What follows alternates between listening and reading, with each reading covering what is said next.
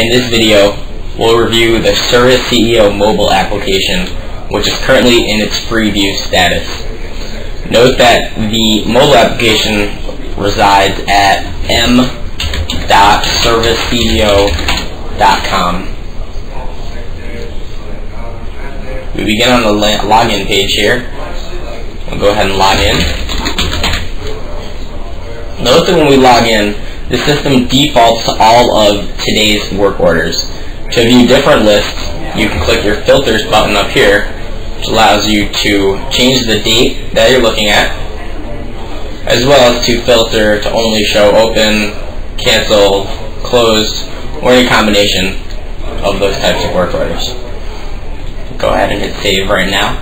We also have a feedback button in the lower left hand corner this is for you, the user, to give us feedback on this mobile application, which is currently in its first pass. However, it is going to be improved as time goes along. So the more feedback we get from our customers, the better we can make this system for you. Now let's look at what our actual capabilities are on a work order. You can see here, we can see our work order number, the summary, the scheduled date and time, and where it says none here, this would be our sub status. We'll go ahead and click into this. Most of the mobile application is view only. There are limited things which can be changed on here, including the sub status, any notes, and getting a signature capture as well. Let's review top to bottom. First, on our General tab, we'll see information like the customer's name, the summary of the job, the current status and sub status, as well as the start time, the duration, and the service location and links. You can click on the service location to pull up more information. There's also a map it link here, which will bring us over to Google Maps. You can also click onto the service contact name to get more contact information. The sub status can be edited by a person in the field, which is a great way to let the office know that a job is complete because at this time field staff cannot change the overall status, thereby closing a job.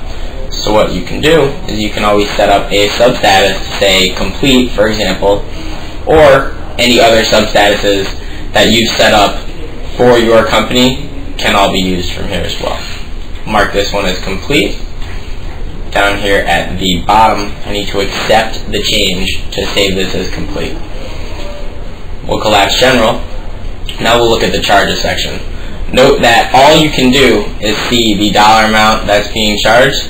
You can click the link here to see the description of the service that's being provided. But again, note that none of this can be edited at this time. Collapse charges to get to the assignment section. Here we can see who has been assigned and how long they're scheduled. If multiple people were assigned, you'd be able to see multiple people. In our notes section, I have the ability to add notes, whether they be private or on the work order here. If, for example, I wanted to put some work order notes here, I'd simply come in here and click accept, and I now have notes attached to this work order saved in Service CEO. Finally, through the mobile application, you can take a signature on a work order in Service CEO.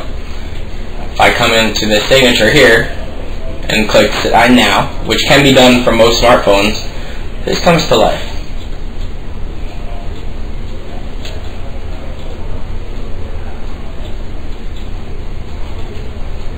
Go ahead and save that on here. Now I have to hit the save button in the top right hand corner. This saves the signature onto the work order in Service CEO and brings me out. Again, please give us as much feedback as possible on the mobile application so we can continue to improve it. This concludes the training video on the mobile application in Service CEO.